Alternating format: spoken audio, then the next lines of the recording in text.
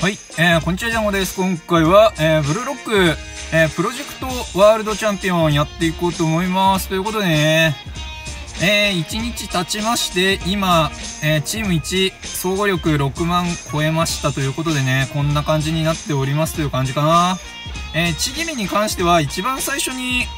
あの、育成してみたね、レベル、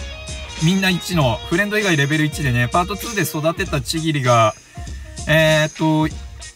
まあまだ入ってるので、ここはね、ちょっと育て直したいかなとか、まあ配布のいさぎくん、そして、えー、この前のガチャでゲットしたガガマルと、えー、バチラがいますよと。で、ここのイエモンはライチに入れ替えたいねとか、そんな感じですね。まあでもね、あのー、これ、パート2のね、あの、フレンド以外全員レベル1のキャラで育成した時のちぎりでも1万超えてるので、まあ、星3キャラであれば、適当にね、あのー、育てても1万ぐらいにはなるのかなと思うと、まあ5万がチーム力、スタートラインなのかなということをちょっと思っていて、まあそこからすると6万って、あんまり 高くはないのかなとかね、そんな感じではあるんですが、まあちょっと遊んでみて思ったこととかをね、動画にしようかなとえ、いう感じのやつですね。で、えー、とりあえずね、あのフォローがね、今、ないので あのね、フォロワーいないので、フォローをちょっとね、まあしたいし、されたいなというようなことを思っていて、でもね、今ね、多分ね、検索方法っていうのが多分プレイヤー名しかないんだよね、きっと。だからここで、えプレイヤー名で検索してもらうしかないのかなとか、そんな感じですかね。なんか ID とかね、そういうのがないみたいなので、えー、ちょっと探してみてくださいという感じかな。で、ちなみにね、あの、エールを送ったりは一応してるんだけど、まあ、自分と総合力が近い人を見つけて、で、えー、そういう人に一括でエール送ってみましたよとか、そんなとこですね、今は。で、エールは返ってくるけどね、なかなかフォローまではされないな、みたいな そんなとこですね。まあ、こっちからフォローしてった方がいいのかもしんないけど、とりあえずなんか様子を見てしまっているっていうところですね。ちょっと、家もんだけなんか、あれだよなっていう キーパーの構えしてるよねっていう。でね、今のうちは、え5対5でね、えっ、ー、と、まあ、ブルーロックっぽくやってるわけですが、これね、そのうち、11人の普通のサッカーも、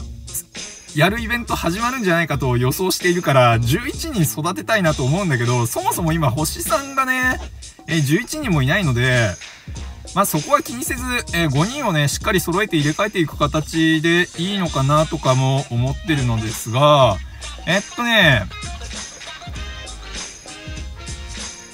そうだな。まあ、今持ってる星3選手が一応ね、えー、6人になったので、まあ、配布の潔、三笘、えー、そして最初の星3確定チケットから出た、えー、ちぎり。で、えー、その後追加でガチャをしてゲットしたバチラ、ライチ、えー、ガガマルということで、まあ、6人、えー、星3がいるので、まあ、サポート4人星3にしつつ、えー、メインキャラもね、星さんという形で、まあ基本的にはね、あの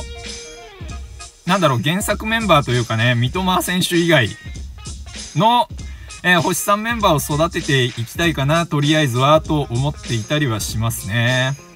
あとね、このキャラの上についてるマークがね、あの、やっぱり伸ばしやすいステータスなのかなと思うと、なんかちぎり育てるのにスピードの同じアイコンのキャラ欲しいかなと思った時にね、なんかキラしかいないから、なんかまだやっぱキャラ少ないんだなというような印象を受けたりもして、特にね、なんかね、あの、イサギなんかね、俺が育てたやつ、なぜかね、あの、めちゃめちゃフィジカルが伸びて、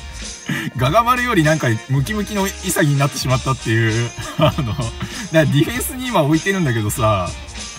そういう感覚で、そういう感じでいいのかなとかもね、まだよくわかってないので、どのステータスがどういう影響を与えるみたいなのね。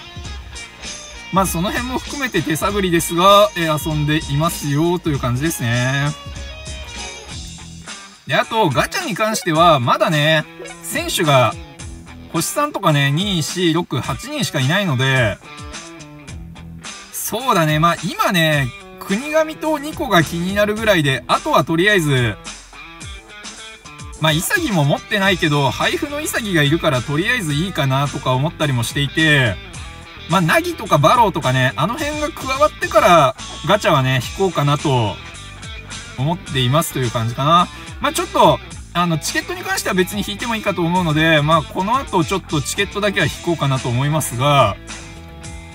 えー、そんなところで考えていますよと。まあね、もちろん、星3でもね、重ねた方が強くなるんだろうし、一応、ちぎりはね、レベル50まで上がって、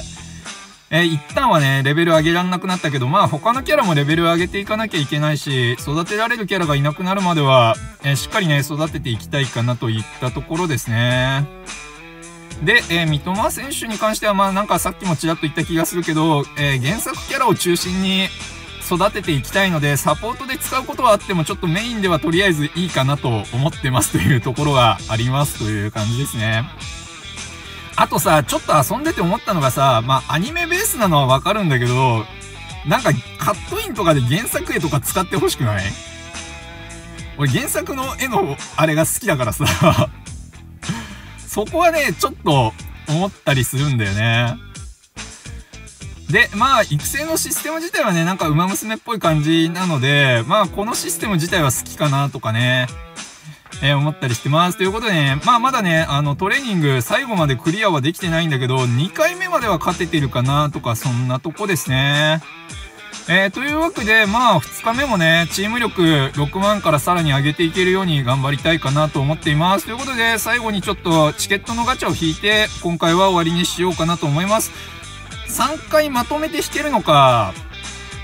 まあでも4枚しかないからちょっと1回ずつ行こうか。いけ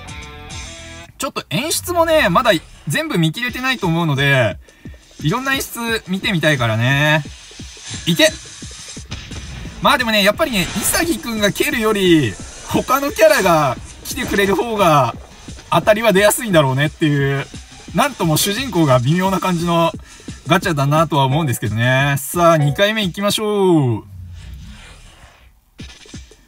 さあ、またイサギ。まあ、普通のチケットだからね、単発だし、こんなもんでしょう。